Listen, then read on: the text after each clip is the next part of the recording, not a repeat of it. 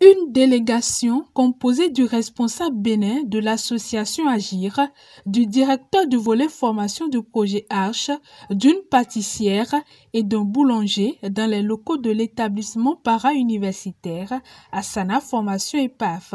Ils y étaient dans le cadre d'une séance de travail dont les objectifs sont clairs et précis. C'est toute une délégation qui est venu nous voir aujourd'hui pour s'enquérir euh, de nos conditions de travail et comment est-ce qu'il peut nous apporter leur soutien dans le cadre de la matérialisation du projet Campus EPAF. Alors, nous avons passé en revue toute l'histoire de l'EPAF, comment est-ce que nous sommes partis où est-ce que nous en sommes et où est-ce que nous voulons aller. Et je pense qu'ils ont été très impressionnés du travail impressionnant qui est fait par des équipes de jeunes rompus à la tâche, des personnes passionnées qui ont tout donné ces deux dernières années pour que nous puissions être là. Ils ont été très impressionnés, nous ont donné des conseils et nous ont dit leur encouragement et surtout nous ont notifié toute leur disponibilité à nous accompagner tant que c'est possible.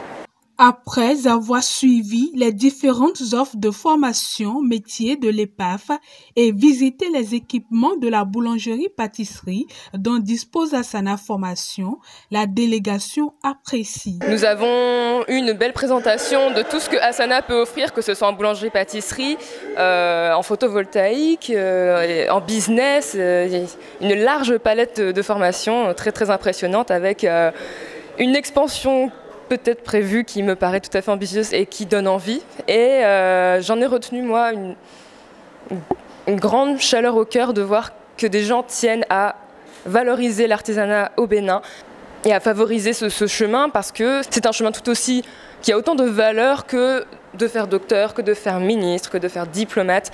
Et il est temps de changer les mœurs. Et je pense qu'Asana va vers ce chemin-là et c'est quelque chose qu'il faut tenir jusqu'au bout. Voilà. je suis très contente d'avoir visité euh, les laboratoires de boulangerie-pâtisserie. Si vous avez l'amour de la boulangerie-pâtisserie, si vous avez l'envie, il ne faut pas hésiter. Parce que de toute façon, si on choisit un métier, on va le faire la majorité de sa vie. Et il faut pouvoir avoir du plaisir à se lever le matin.